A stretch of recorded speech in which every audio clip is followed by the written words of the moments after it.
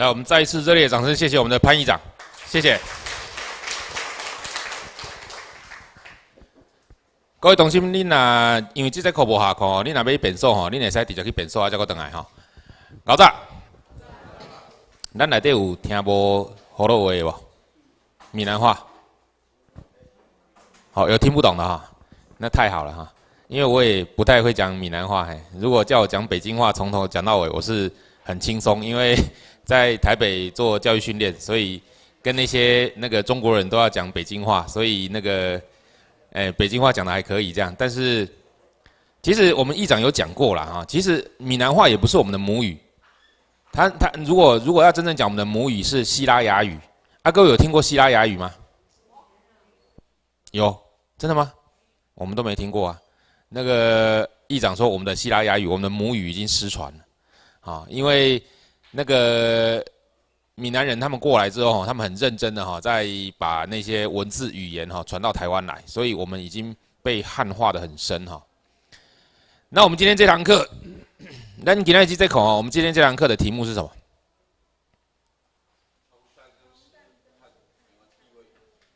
哎，哎，因为我都开始上课的时阵哦，我刚开始上课的时候哈，那个我也觉得很奇怪，发了一堆讲义哈，啊那也拢无用掉安尼哈。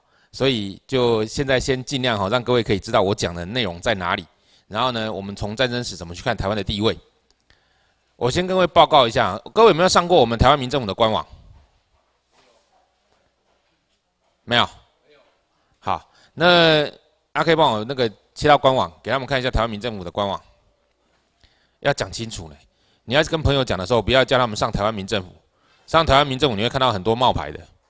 要上台湾民政府官网七个字，啊，要打台湾民政府官网，这就是台湾民政府官网，好，然后呢，这里面有很多的，你都可以点进去看，然后左下角那边给他看那个台湾战争史回顾，哎，哎，对，在这里有没有看到专栏这里台湾战争史回顾？你点进去，里面有四百四十四篇，哎，有四百四十四篇，我等下会拿其中的一篇来跟各位报告，就是我们那个。初级班一定要研修的那个法理的教材，好，那战争史回顾里面就是很清楚的让各位知道，为什么要讲战争史？那台湾跟战争史又有什么关系？战争史是里面会牵涉很多的法律层面，包括战争法，包括万国公法，包括国际法，好像这些法律，各位读起来可能会很生硬。我也念得很生硬啦，我跟各位都一样，可是没有办法，你出去外面你会遇到很多的所谓的专家，啊，那些专家就会开始跟你辩论。我告诉各位，我从国中开始打辩论，奥瑞冈国会式的辩论，我我辩论算蛮厉害的，因为我母亲是那个广播电台的节目主持人，啊，所以。我常常在开玩笑，我我讲很标准的北京话给我女儿听的时候，我女儿说：“爸爸，你讲那个北京话，我鸡皮疙瘩掉满地，我真的很想打人呢。”听我讲北京话会想要打人呢？啊，我真的我真的那时候哈，在学校练北京话练到太咬文嚼字、太字正腔圆啊，然后让让那个同学听到说：“你不要再用那种很奇怪的北京话跟我们讲，嘿，你再讲我就打你。”嘿。讲北京话讲到让人家讨厌呢啊，那也蛮那也蛮自豪的，可以让他讲北京话讲到让人家讨厌嘿。这是从小的训练，那很奇怪，我就会常常会很好奇说，奇怪我为什么在念国小一年级之前，我都没有讲过这种话。我真的我在花莲的乡下长大的，我爷爷他会讲日本话，会讲闽南话，我奶奶讲日本话讲闽南话，我爸爸他们都讲闽南话。啊，我当然也跟他们用闽南话沟通啊。然后我们在我们那边又住着很多的阿美族，所以呢，我听到的从小听到的就是闽南话、日本话跟阿美族的族语，所以我根本不知道有北京话这回事。然后一到学校，突然告诉我们，不准讲闽南话，不准讲阿美族的族语，也不准讲那个日本话，只能讲北京话。哎，你一个完全陌生的语言，然后你要马上学会，那很简单，你不学会你就要被打。哎，请问一下在座的年轻人，你们如果现在有没有说哈回复到学母语哈啊教你们闽南话？如果不会讲闽南话要被打，没有了哈。但是我们那时候讲北京话，不会讲北京话要被打，还有被罚钱呢，对吧？咋扣啊？那时候十块很大呢，很奇怪呢。你从小你去想想看哈，一个小朋友念国小一年级，到了一个陌生的环境，然后你跟老师，你会觉得老师应该都会讲你的语言嘛？啊，所以跟老师讲闽南话，结果老师讲闽南话，老师就拿棍子在旁边讲闽南话就打你，嘿，告诉你不准讲闽南话，你会很困惑，很很困扰，因为一下子你会的语言通通用不上，一点点日语，好，一点点阿美族的族语，一点点的北京话，你通通用不上，你只能讲，哎，你只能讲北京话，你会很困惑。我那时候就开始很困惑，我真的就非常的不太了解到底是什么状况。那小朋友哈不太了解是什么状况，他会怎么样？如果我们是小朋友，会缩起来，哎，揪起来。我那时候就缩起来，很害怕，很害怕去学校。然后呢，在我们那乡下，国小老师教地理、教自然，他讲的话你又完全听不懂，因为他是讲北京，呃，他是讲大陆的，不，中国的那个地方语言。你看课本，你根本不知道他讲到哪一页。你讲他是讲哪一省的方言，你都听不懂，啊，哪一省的方言，他这样可以来当老师，然后呢可以来教我们，然后还可以对我们的那个同学这样哦毛手毛脚的，然后都没事，哎，这样子的为人师表，那时候我就觉得真的是越来越困惑，到底是什么样的教育体制？难道像我这一辈的哈，你们年轻人可能哈从这个我们出社会有你们开始上小学哈。我今年快五，呃，我现在快五十岁了。然后呢，在我那个时候念小学，我们会困惑。可是到你们念小学，你已你们已经不会困惑了，你们已经习以为常讲北京话，因为电视上看到的，哈，报纸上看到的都是汉字，都是北京话，你已经很习惯了。然后你完全不会困惑。到了我们的下一代，他们会对闽南话更生疏。他们会对他们曾经有过的语言更生疏，这就是教育哈，一代一代一代一代，到我们到我女儿他们这一代，他们已经完全不了解了。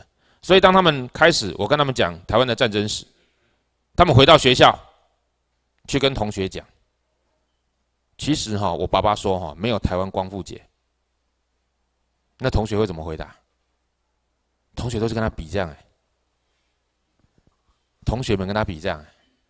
他讲他讲事实，然后大家都以为他在讲谎话，所以你要慢慢开始了解我们的战争史，你一定要花时间。里面四百四十四篇，你开始也，你开始让自己的专业越来越强的时候，你才能去跟人家分享，你才言之有物，你才有办法哈去跟人家谈这一块。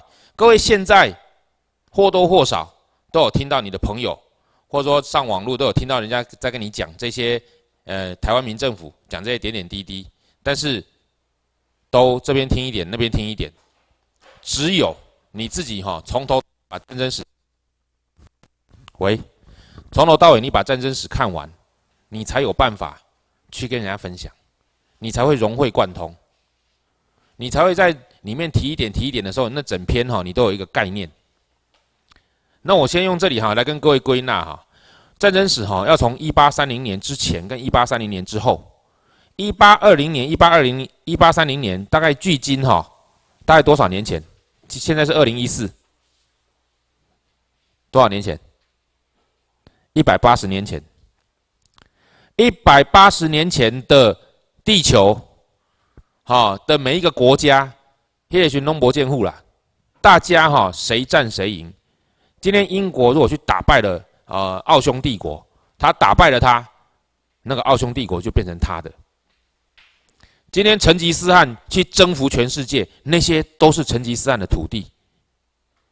今天中国他去占领周遭的一些国家，越南、哈、印度、缅甸，什么就开始有什么汉满蒙回藏苗瑶，嘿，这个位小时候都念过嘛，哈，就会有这些国家就会被就会被兼并。所以在一八三零年之前，没有战争法的约束。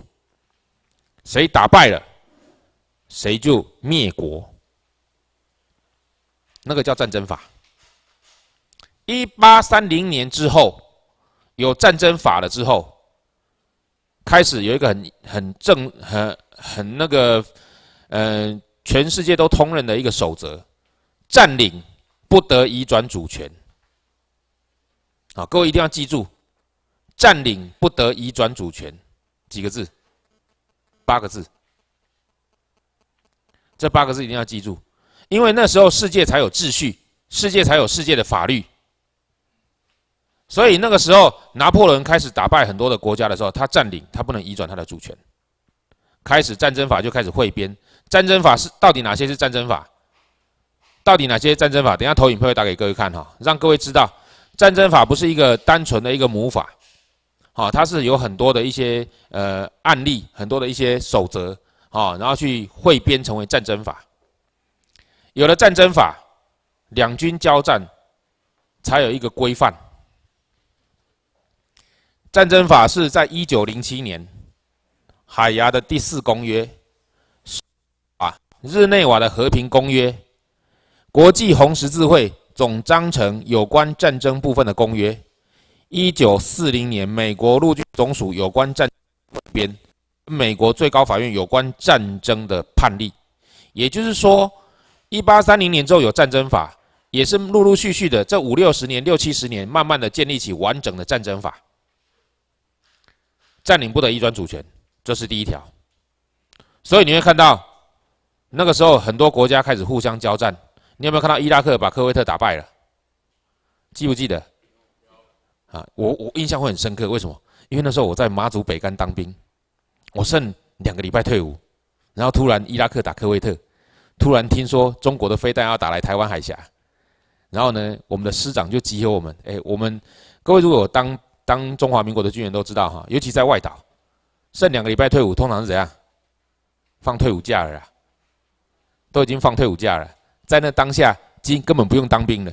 结果呢，我剩两个礼拜，然后呢，我运气真的非常好，遇到伊拉克打科威特，然后 遇到飞弹那边哈飞来飞去。所以呢，军师长说，所有要退伍的人哈，两个礼拜不准放退伍假，啊，留营啊，然后要背着枪，荷枪实弹啊。然后呢，如果中国的军队打过来北干，我们有四千个军官兵，我们要死守北干，我们不有任何补给。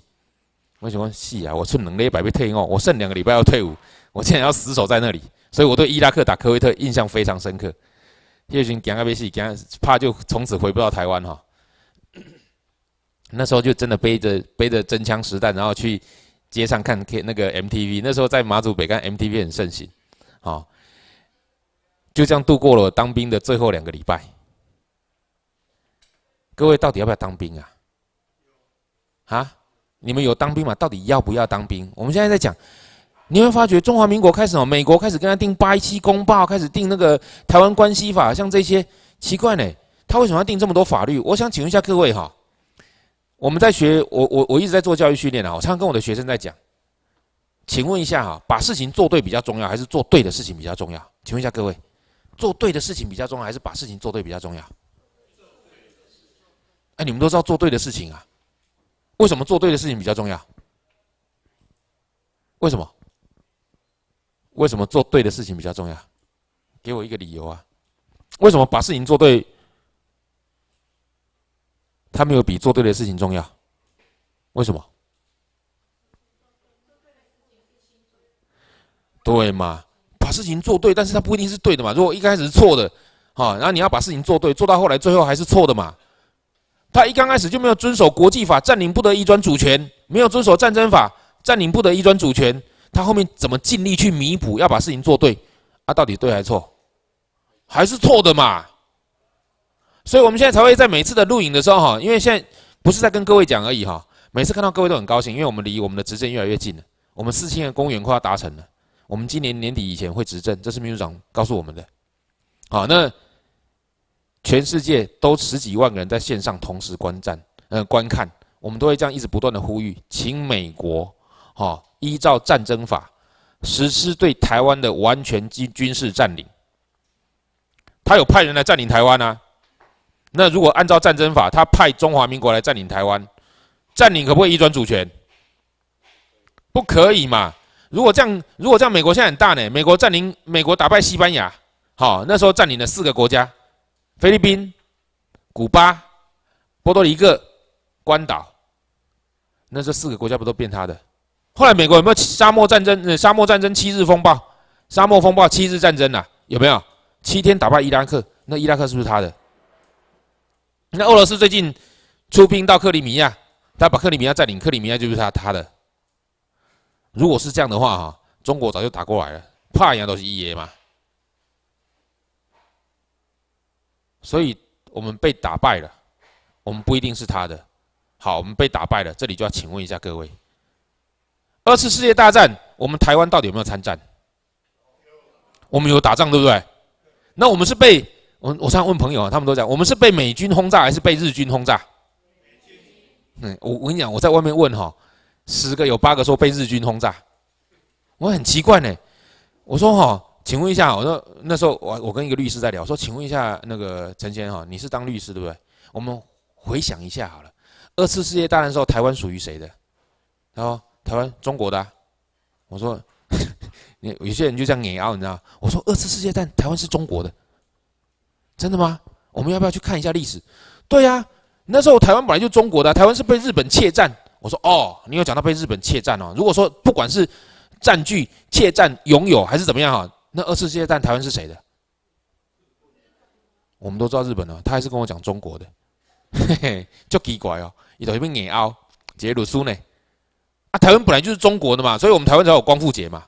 哦哦，他怎么样那么硬凹？我说，那你知道哈，当初，当初哈，满清割让台湾，割让台湾给日本，他割让什么样的台湾？等下给各位看哈，他割让什么样的台湾给日本？我想请问一下，等一下各位会看到哈，我们就开始归纳我们。跟律师辩论很好玩，哦，因为真理越辩越明啊。辩到后来哈，他都没有办法回答，但是他还是不愿意接受就对了。好，这是什么地方？啊？这是台湾吗？那地图怎么跟我看的不一样？这是一条蚯蚓吧？这蚯蚓嘛？这是满清。割让给日本的台湾，这个时候是一八九五年的台湾，也就是说，满清那时候可以统治的台湾只有这样子。台湾的六个屯垦区，也就是说，现在你看到的其他的台湾地图上没有看到的台湾，那时候是不是满清的？不是啊。那一八九五年。订立马关下关条约，请问是在一八三零年之后，还是一八三零年之前？之后，所以那个时候哈，已经开始了实施战争法，占领不得移转主权。啊，这里跟各位讲一个呃八卦了哈，各位现在知道全世界哈最有名的不是最有钱的人是谁？比尔盖茨对不对？啊，现在是过又回到他手上嘛哈，前几前几年是墨西哥的那个。地产那那个油油田的大亨嘛，然后现在又回到比尔盖茨手上。比尔盖茨不是最有钱的啦，真正有钱的哈，他去编一本书，《富比士杂志》说世界上有钱的人，他把它让给比尔盖茨。真正有钱的人，他不会去写。各位如果有机会去看《货币战争》这本书，一定要常常阅读。不管战争史，你们来到民政府，你们为了要当政务官，就要开始要学习。我规定我自己啊，啊，每年至少要看一百本书。那我的老师哈，他每年看两百本以上的书，你知道现在出版社速度多快吗？每年有多少书出版？各位知道吗？台湾三万本，你怎么看都看不完呢？所以你尽量多看，阅读对你来讲只有好处没有坏处，你会融会贯通。我女儿的作文写的这么好，就是平常养成阅读的习惯。所以我们家休假的时候，全家一起，有的时候我讲故事给他们听，有时候他们讲故事给我听，大家互相阅读。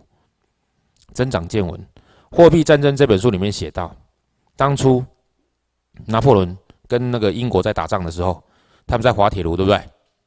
滑铁卢在打仗的时候，那时候资讯不发达，到底打赢打输，没有人知道。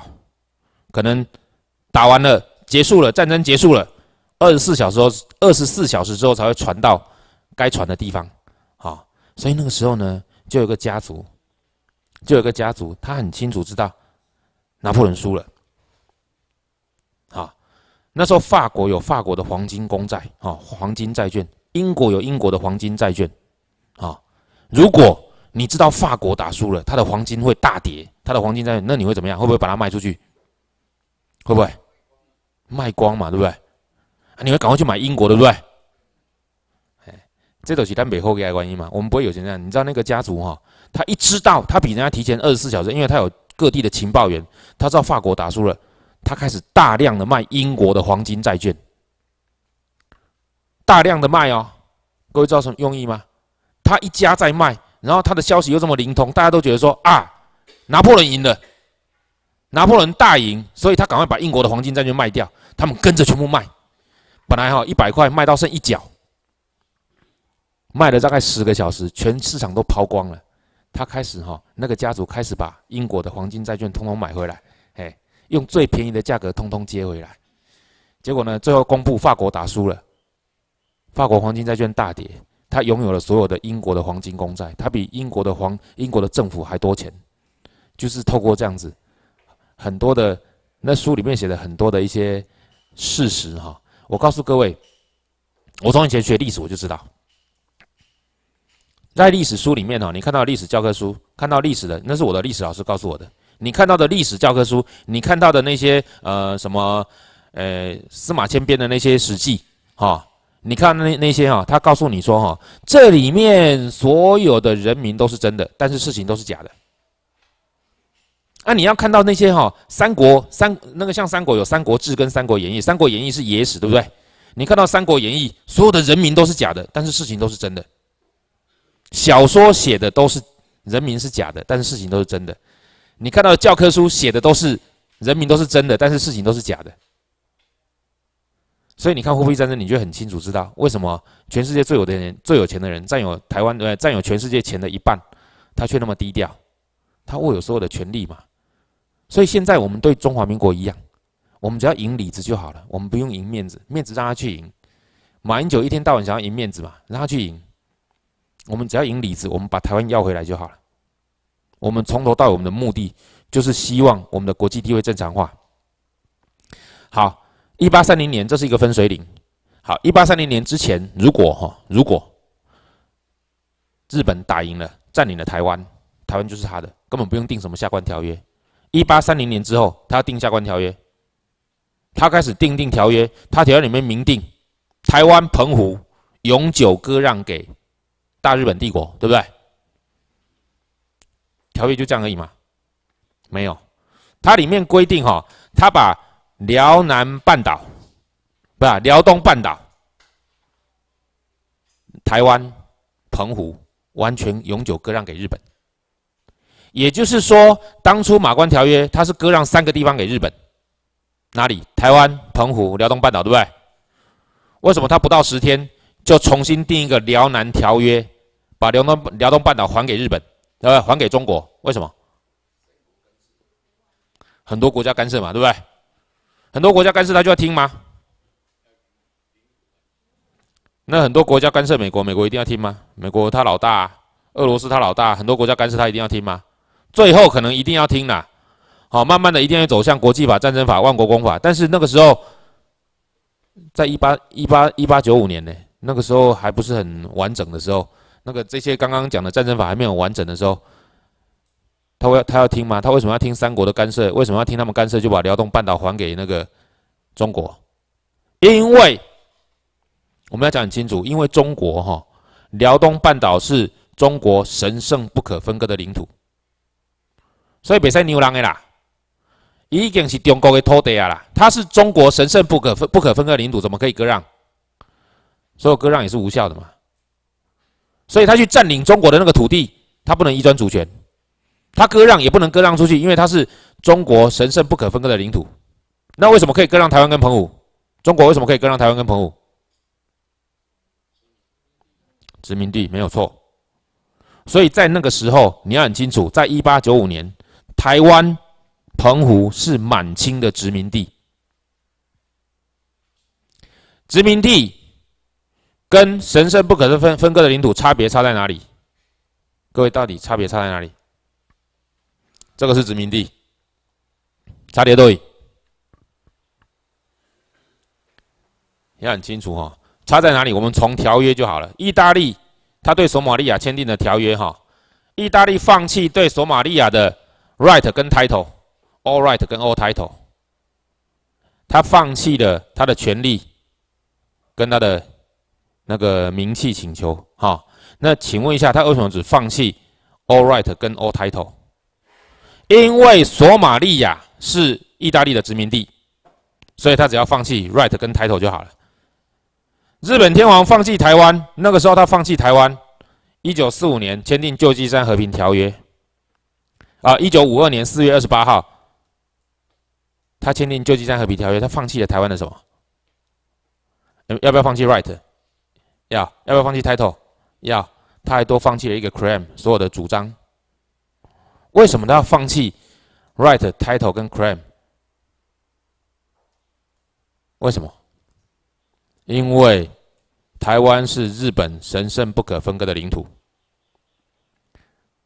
这里比较生硬哈，各位一定要哈在今天早上把一些概念搞清楚，接下来每一个老师跟各位分析的那些细节，各位才会听得懂。所以你那时候你会看到，意大利他对索马利亚放弃了 right 跟 title 而已，但是日本天皇他放弃了对台湾的 right、title 跟 claim。那为什么？为什么现在日本天皇一样拥有台湾的所有权？为什么美国总统握有台湾的占领权？哎，各位记不记得我们每天哦，我们每次上课之前都有念台湾台湾民政委驻丁一个里丁，有吗？啊，第一个讲什么？好，第一个讲什么？回到那个台湾民政府的主张跟立场，依据国际法理。哪个国际法理？台湾战争法、台湾关系法是不是？国际法理是依据万国公法、依据国际法、依据战争法。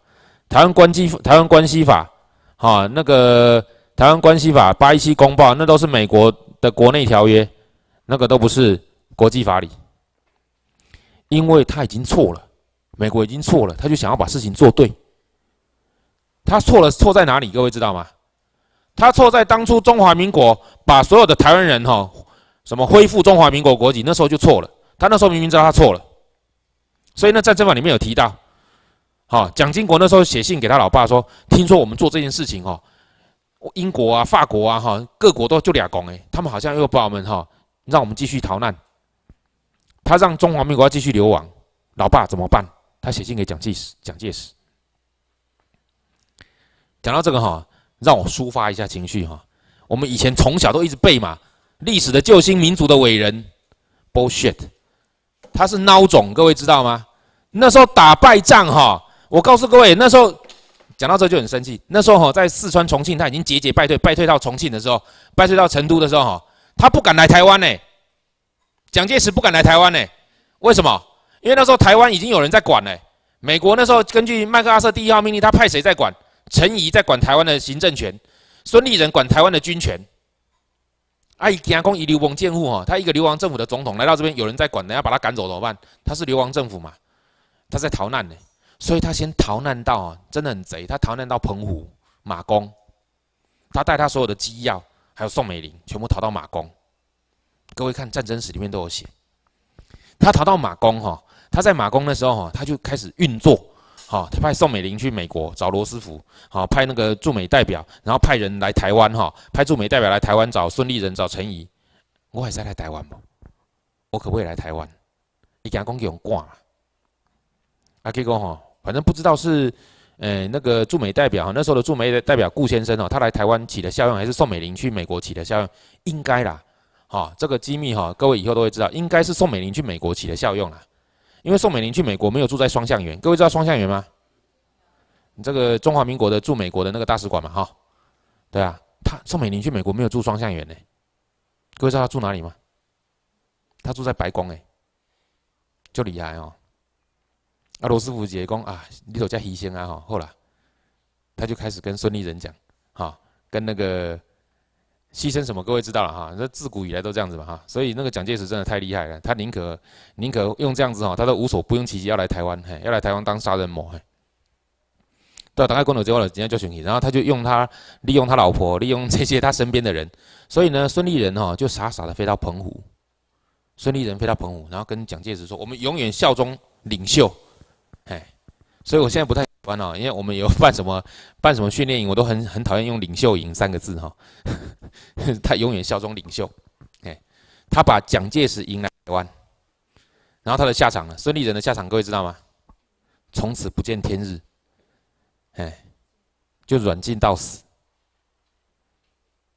这是孙立人哦，他把就给狗丢拉吧。哎，蒋介石来台湾以后呢，复行世事。我们现在哈，他们他们他们真的中国的用语哈，真的很厉害了。他们会什么转进什么的，嘿，怕输招摇，就哎嘿嘿，音弄音，跟他音功也出来了哈。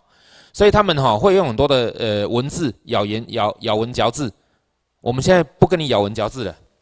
我不要跟你谈什么情感台湾、政治台湾，我跟你谈法理的台湾。法理台湾从一八三零年之后，中华民国再怎么占领台湾，它不能移转台湾的主权。台湾的主权在一九四五年的四月一号，所以哈，中华民国又骗你，四月一号是愚人节。四月一号是不是愚人节？不是啊，四月一号是我们秘书长跟秘书长夫人的结婚纪念日。四月一号呢是那个诶那个什么琉球。琉球民政府、琉球美国军政府成立的日子，四月一号，在美国是一个很呃，在日本是一个很正式的日子，所以一九四五年的四月一号，日本天皇就宣布了，迭打在高尼前六十九年前的四月一号，日本天皇宣布什么事情？台湾成为日本神圣日本帝国神圣不可分割的领土，台湾人民拥有在日本的。参政权，拥有日本帝国军队的参战权，所以那时候我们很多高沙族的义勇军正式成为日本的军队，到南洋到哪里去作战，非常骁勇善战。所以各位现在可以到，我们每年都会到靖国神社。去年我有去，去年我有去美国，我有去日本。我们每年都会到日本的靖国神社祭拜我们三万九千一百个台湾的英灵，在日本的靖国神社。请问一下，靖国神社，它是供奉日本的什么阵亡将士，对不对？他供奉日本的阵亡将士嘛？如果我们台湾的一台湾的这些高沙族、台湾的这些平埔族的去代替呃去跟日本人一起去参战，他们阵亡了，他们如果不是日本人，他们可以供奉在日本靖国神社吗？不可能嘛？所以你也了解，咱今麦咱台湾人去。我们台湾人替中华民国当兵，我们如果战死了，我们可以，我不，我们可不可以供奉在忠烈祠？不可以，它上面只会帮我们贴三个字，还不帮我们贴贴几个，贴两个字而已，可能是白痴啊，好公啊，还为什么？因为你认贼作父嘛，替谁去打？替替你的，呃，你从小那个我们叫做斯德哥尔摩效应哈，斯德哥尔摩症候群，也就是说，这这怎么由来的呢？就是有一个女生她被绑架了。她被绑架了，结果呢？从小被绑架到大，绑架了十几年。她后来同情那个人，还嫁给他。同情他绑架的人，明明那个人犯罪一样嘛。我们那时候同情中华民国，然后糊里糊涂就当他们的兵。我们得了斯德哥尔摩症候群，哎，然后糊里糊涂认贼当父亲。他把我们哈骗我们，他是我们的爸爸，哎，那个日本天皇是我们的敌人。好，我们要打败日本天皇。好，日本是我们的敌人。我们那时候跟他打仗，哎，他一直骗我们。我们打赢了，我们打败日本，哎，让我们这一群人开始忘记我们自己是日本人，开始忘记那时候我们是在打中国人。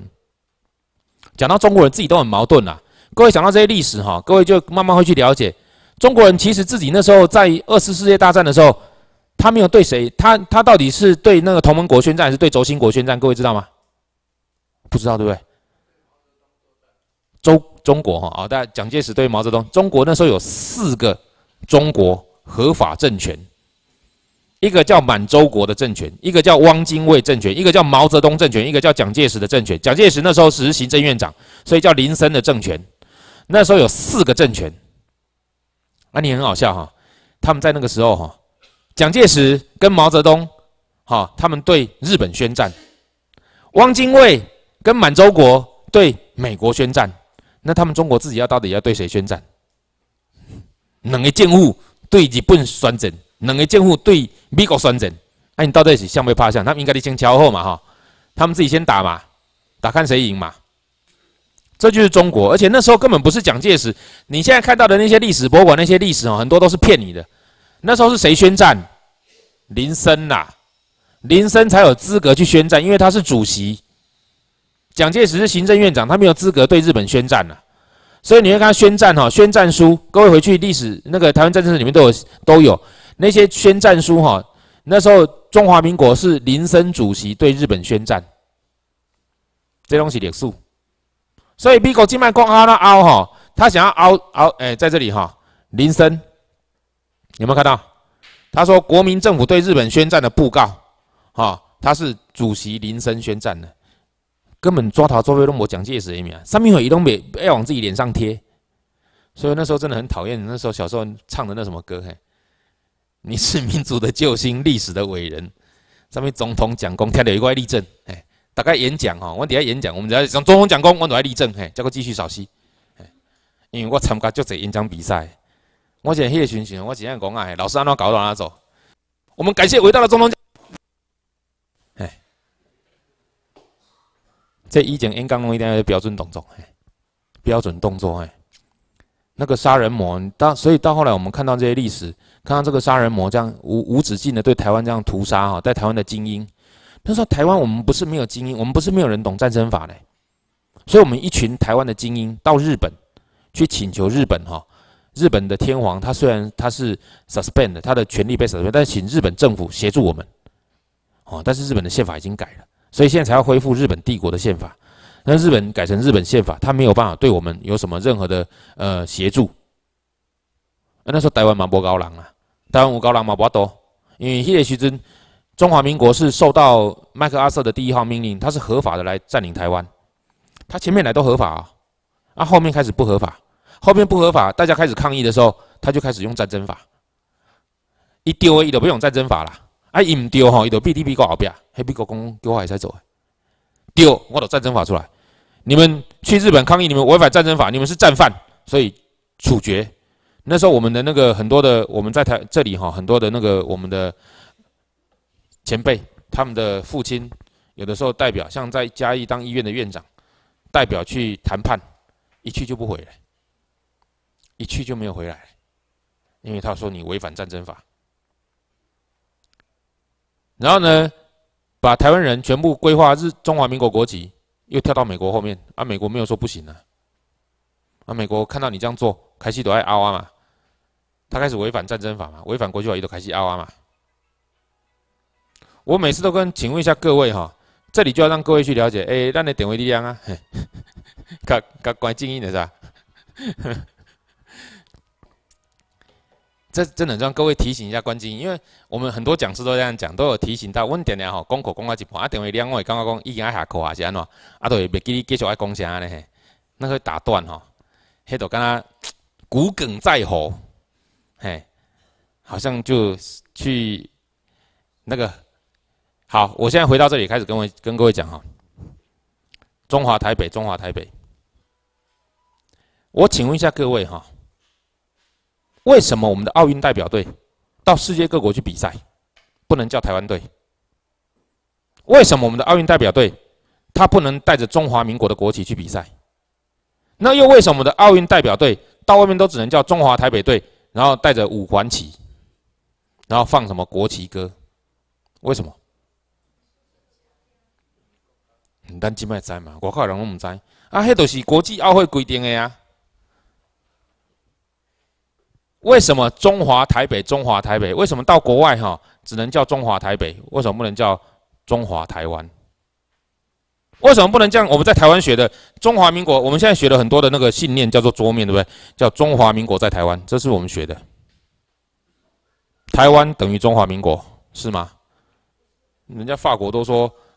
我中华民国在台北啊，台北中华民国的管辖区域只有台北啊。好，我们这时候就可以回来哈。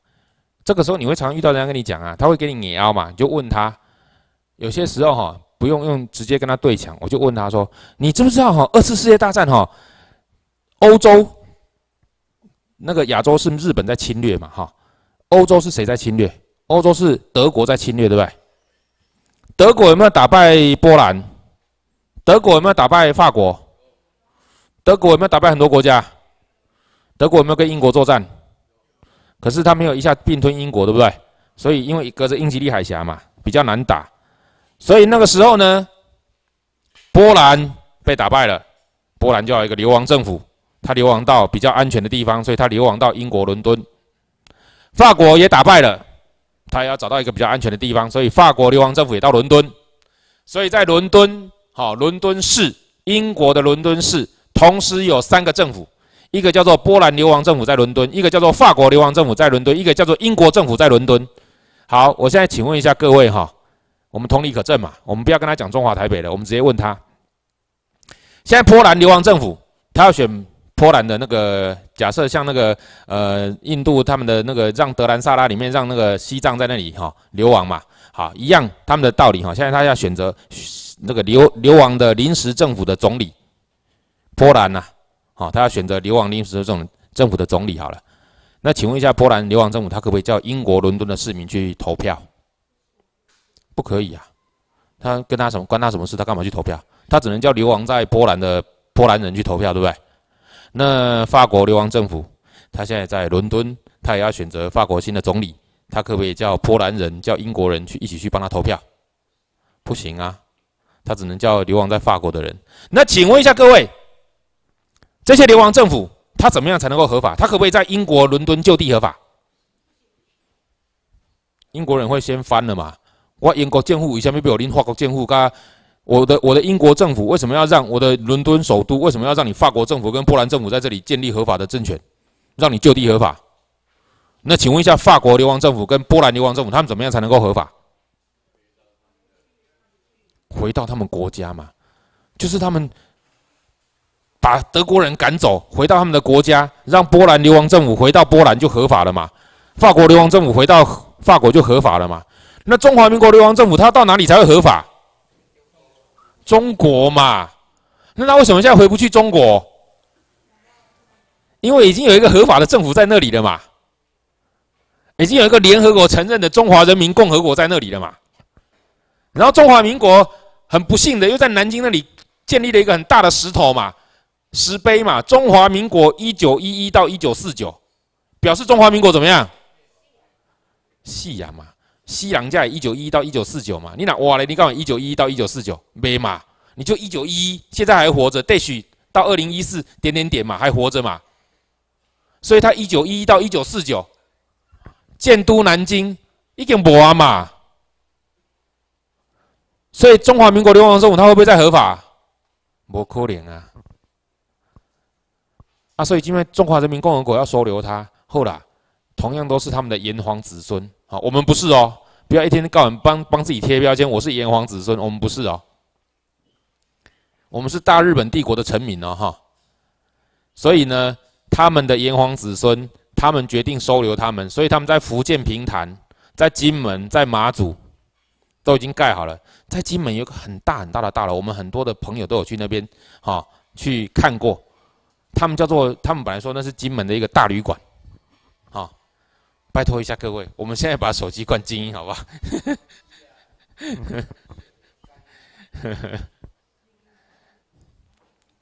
好，拍谁啦？因为这样子哈，我们比较好好讲课，比较继续了哈。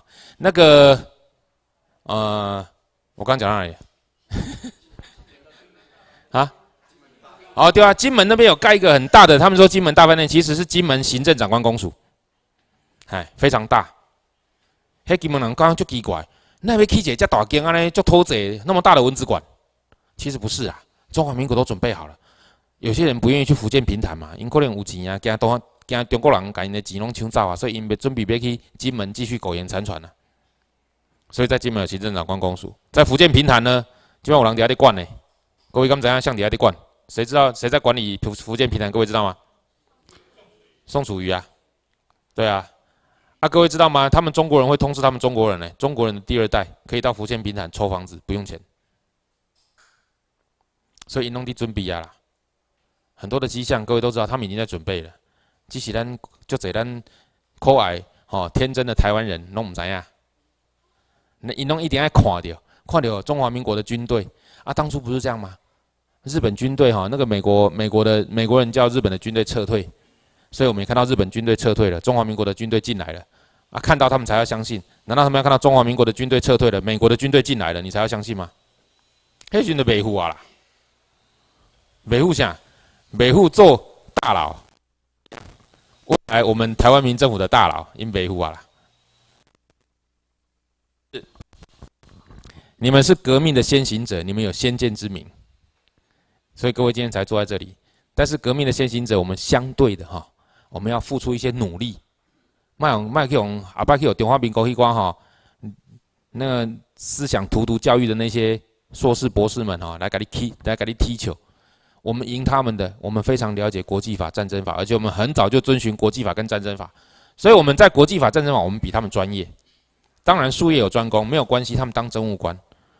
以后我们会教各位，让各位学会领导，那也要官党的后啊。咱快出来讲吼，也要敢教育，让他们哈有正确的历史观。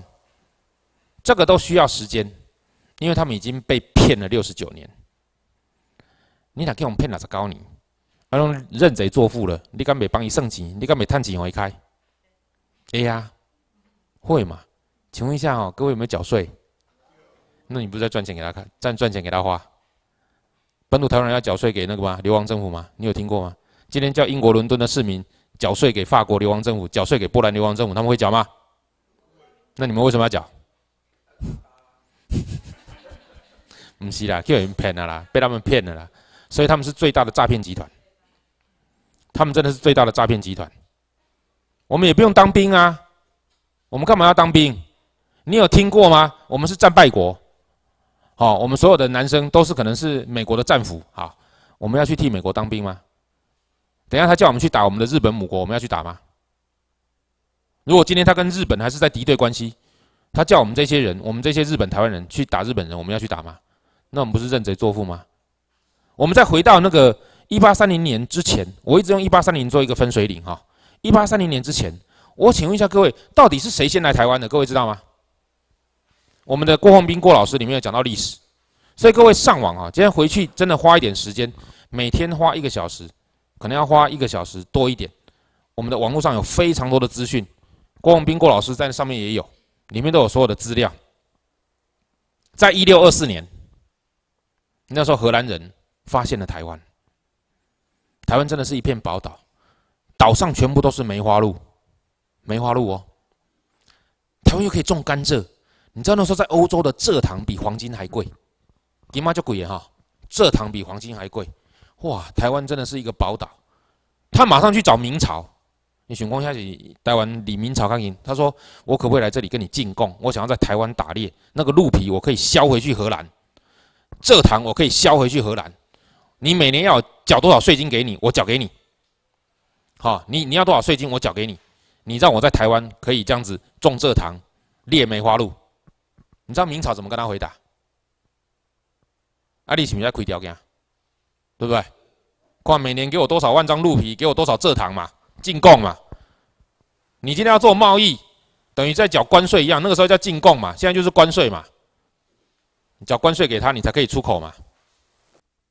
那他去找明朝，说我要缴税给你。啊，明朝说什么？各位知道吗？啊？免对，一共免。正确的哈，明朝讲唔免，啊，不过你免搞我，你爱搞别人，因为遐唔是我管的，遐相关的。日本幕府，你要交给幕府将军，所以他进贡每年三万张梅花鹿的鹿皮，进贡给日本，村内家炸等于荷兰。所以在一六二四年，台湾向你管的。啊，安尼唔知吗？我讲的讲我就复杂的。所以在一六二四年是日本管的，没有干嘛？荷兰人要进贡给日本。可是因为那时候在一八三零年之前，所以还没有战争法，还没有国际法，所以那时候日本实施禁海令，日本的军队全部撤回去日本，谁就偷偷跑进来台湾？满清，那满清叶军、蒋梅军都剩一爷嘛？啊，如果那个时候一六二四年就有国际法的时候，日本就算离开台湾，满清可以进来吗？不可以嘛，因为占领不得移转主权嘛，所以那时候满清进来占领了。可是日本很清楚，啊，推荐两本书给各位看，回去找东大爸爸写给我的日本近代史，东大爸爸写给我的日本史，这是东京大学的历史教授，他写的日本。你要了解日本的历史，我们现在念的都是中国的历史，大错特错。联经出版社东大爸爸写给我的日本近代史，东大爸爸写给我的日本史，里面就有提到，这里面很清楚提到。所以在那个时候，在那个时候，一六二四年，日本先进来，荷兰进来，西班牙进来，郑成功进来，再来满清，还给满清。所以在那个时候，满清可以，因为那个时候最后那个一八九五年，满清那个时候是拥有台湾的一点点六个屯垦区。所以他才可以定一个合约。那日本会念之在之，迄十六世纪都是阮的啊，十六世纪四五百年前都是阮的啊，所以阮被偷等来，所以他才会跟满清订立下关条约。所以他才会要求满清，你永久的，因为那个时候开始已经有战争法了，全世界都知道，所以你要永久把台湾跟澎湖割让给我，一次还给我就对了，你不准再拿回去了。所以他才会慢慢的进来台湾。他发觉啊，赶快嘛，叶寻我讲的台湾西波啊，当波现在是国博，他才会花了五十年的时间，慢慢统一整个台湾。这五十年哈，台湾的高沙族真的非常的辛苦，因为他跟他不知道说，当初日本就占有，所以他跟日本就不断的作战。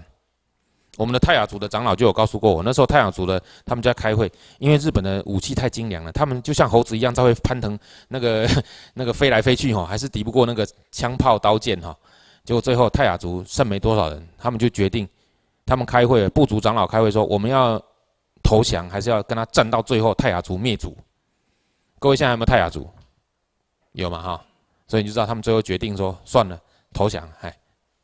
不跟他们站到最后一兵一卒，所以泰雅族继续留下来。那个时候他才统一整个台湾，那个时候他才让台湾拥有参政权，派三个下议院的议员到日本去参政。所以他是整个花了很长的时间去统一整个台湾。所以台湾主古早都不是中华民国的，主古早不是都不是中国的，就不是清朝明朝的，从以前就不是。你念历史教科书就知道。不是啊，念历史的小说就知道了，教科书都骗人的嘛，还。所以像这些各位慢慢的了解之后，你才能够哈举一反三，触类旁通，去跟那些已经被诈骗集团骗了六十九年的本土台湾人，才能去跟他们讲清楚，他们才听得懂。你很多地方你可以下一堂课，我们潘佑谦，呃，下下一堂课我们潘佑谦潘老师就会告诉你这些逻辑，好，你会开始很清楚知道。美国现在只是要把事情做对而已，其实他从头到尾都没有把事都没有做对的事情。从一刚开始让中华民国用两面手法，让中华民国让我们哈变成中华民国国籍，那个时候开始他就没有让事情继续对下去。我们看那个那个法理那个初级班的那个必修教材，那里面就有提到，他从那里就开始用两面的手法。所以，我们现在让各位清楚，这个我们的这个主张跟我们的立场，一定要让各位清楚啊！这是我们的好，这是战争史里面你们可以去找。好，讲到这个哈，我跟各位讲，你在网络上看哈，这是我个人的习惯了。你在网络上看哈，你不如手上有一本书，你还可以画重点，还可以常常去，还有机会去考郡守。各位，请问一下，新台湾人买了没？还没买的举手。等下在后面哈，穿那个紫色衣服的，哈，啊，战争史买了没？都还没哈。等下后面在那里，嘿，这些是你各位哈，以后当公务员必备的手册哈，每个人一定要有一本的啦。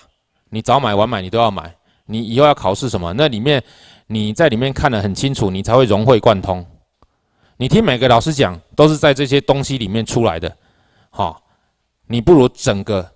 就像看小说一样，你现在听我讲，我只是一个引言人。我告诉你，这个小说很好看，你会不会想要把整本小说看完？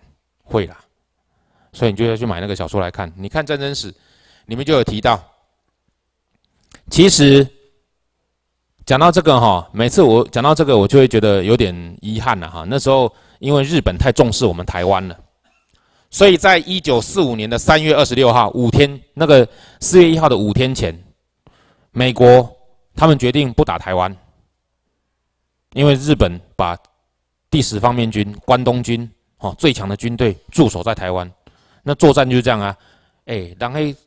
然然后军队最强的在这里，我们就哈去攻他弱的地方，所以他们开始实施美国叫做跳岛战术，都跟都跟黑中华民国转进一样了，然后名词都就好听诶。我不想打台湾，因为台湾我会死伤惨重，我就说我跳岛战术，我跳过台湾，不爱干 不爱干台湾，不爱提前来弄台湾啦，不直接跟台湾战了。结果几单台湾的不幸，当初如果美国来撞我们台湾就好了，死伤惨重哦，我们马上会按照这个战争法。哎，马上按照战争法，台湾那时候实施那个台湾列岛美国军政府，就是因为他没有打台，没有打台湾，他只是派轰炸机来而已，他直接去打琉球，五天就把琉球攻占了。攻占琉球之后呢，一九四五年的四月二就成立琉球列岛美国军政府，他完全按照战争法的架构。他有占领伊拉克以后，他们有没有马上成立伊拉克民政府？有。现在美国不敢啊，他现在开始遵守国际法，但是这个以前我们的成年烂账，六十九年烂账啊，会追的人、会懂的人也不多了。大家都以为中华民国是不台湾是中华民国的，真正的法理啊，真正的历史，现在都已经一直要盖住。我们现在把它掀出来，我们一直要把它掀出来，让全世界都知道，让日本知道，让美国知道，让法国、让英国知道，请美国在今年。哈，开始实施战争法，对台湾全岛实施军事占领。我们希望循琉球模式。一九四五年的四月一号，琉球列岛美国军事政府成立。一九四五年的八月二十号，冲绳咨询会成立。一九四六年的四月二十号，冲绳民政府。一九四六年十月三号，奄美群岛临时北部南西岛诸岛政厅。一九四七年的三月二十一号，宫古民政府、八重山民政府。一九五零年六月十五号。琉临时琉球咨询委员会到一九五零年十二月十五号，琉球列岛美国民政府；一九五五一年的四月一号，琉球临时中央政府。到这个时候，他们也花了多少时间？刚看一九四五年四月四号，一九四五年的四月一号，琉球列岛美国军政府到一九五二年的四月一号，经过几年？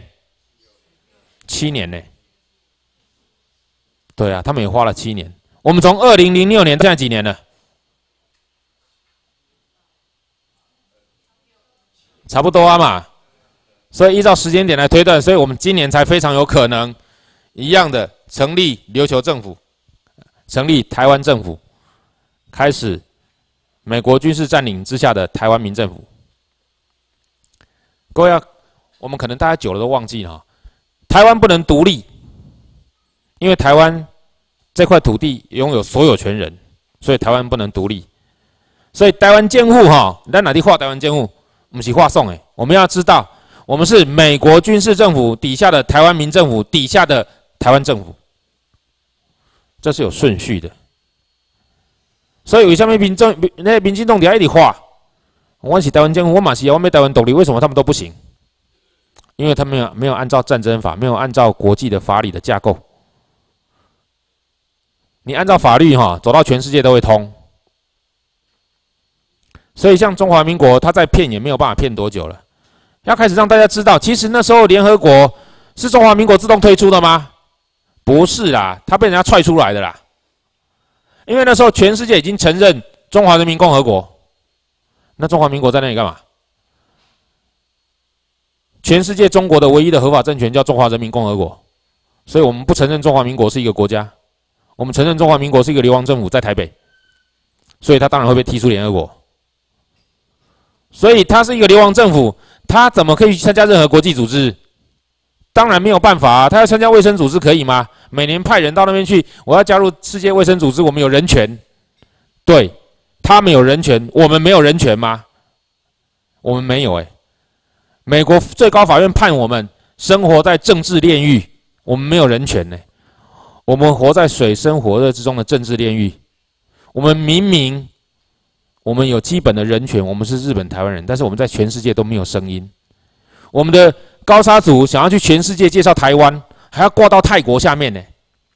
他跑到联合国开始去介绍，哈，关他们以为是哈，现在我泰国政府发言，哈，泰国发言完了以后，就上来一个的高沙族，他就开始发言。中开始也没有注意到啊，他就开始很认真的介绍台湾。中国听一听，诶，一盖一盖小湾那不是泰国，他说他是泰国底下的一个原住民部落，这样去介绍，其实在介绍台湾。还要挂到人家泰国底下，难怪全世界那么多人以为台湾就是泰国。真的，我到国外去，人家我人家说台湾台人，哎，我说 no no 台人台湾。我说我不是泰国，他们都以为我们是泰国。我们因为这样子遮遮掩掩的去介绍我们台湾，不用了。我们现在可以到日本，到全世界，到美国，我们在美国也登报纸，让全世界知道我们是日本台湾人。我们讲的对。你就会得到掌声，你就在做对的事情。讲不对，你永远都只是把在把事情做对。所以你要开始让你的朋友知道，我们台湾就是要这样做。美国占领日本琉球的模式，琉球列岛美国军政府设立冲绳民政府，宫古民政宫古民政府，八重山民政府，琉球列岛美国民政府设立琉球政府，这是完全按照战争法。所以按照战争法的推论。在一九四五年的四月一号，台湾成为日本神圣不可分割领土。领土，台湾应该要这样子。美国军事占领占领台湾，应该成立台湾美国军事政府，设立台湾民政府。台湾美国民政府设立台湾民政府或台湾政府。按那个时候，为什么美国他没有直接来台湾？为什么？为什么让蒋介石来台湾？为什么让麦克阿瑟第一号命令？这样也没有错啦，他可以请盟军，哈，他蒋介石在盟军嘛，执行代为占领台湾嘛，那个都没有错嘛。而且那时候蒋介石很可怜嘛，麦克阿瑟可能想说，阿里斗对我更加固啊，好，我都先和你来台湾穿几下盔，嘿，来这里穿盔去。可是他接下来倒行逆施，哎，各位知道二二八事件？真正官方的人数跟真正死亡的，我们的过了两三年，台湾省政府在清查台湾在日本时代有户籍，到了台湾户籍不见的这些台湾的高级知识精嗯那个精英分子、知识分子少了多少人？各位知道吗？细也细抖一抖，你在黎班国清狼，二十二万五千人。他用什么法？他哈这里他说。你如果不顺从中华民国，因为美国派我来的，所以呢，我占领日本台湾，我对不顺从的中国占领军，依照治理本土台湾人，寄出美国承认的战争法，最严厉惩罚，唯一死刑。所以那时候他就用这种方式，他来到台湾就这样子，对我们台湾，你顺从，哎，规划中华民国国籍；不顺从，唯一死刑，用这样子来骗我们台湾人。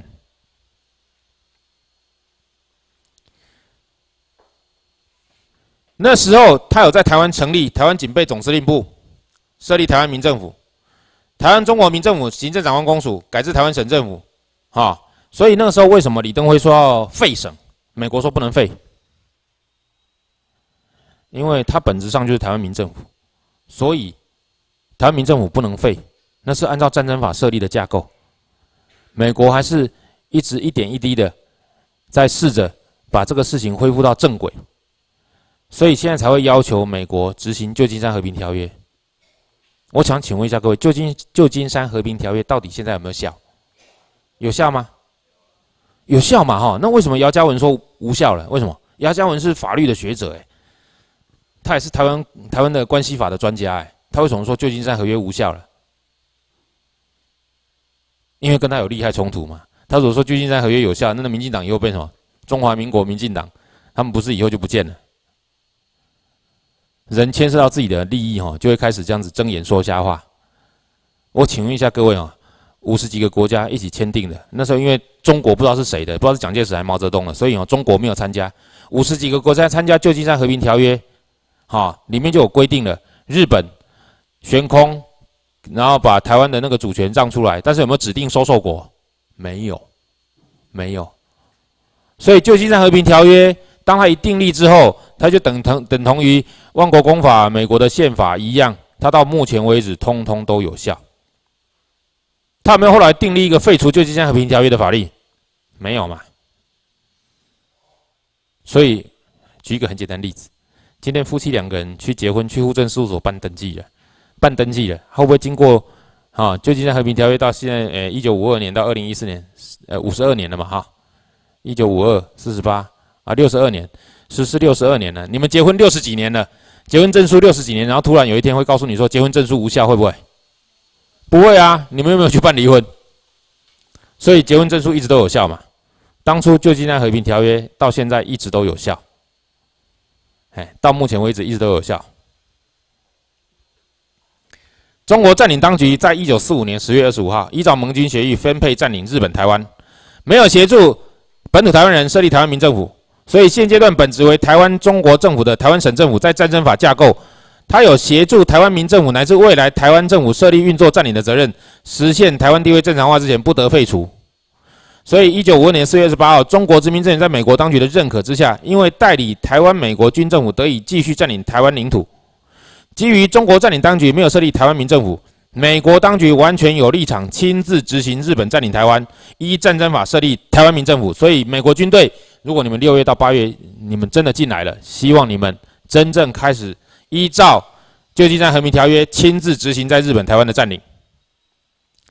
中国占领当局对我们实施两手策略，我们已经很清楚了。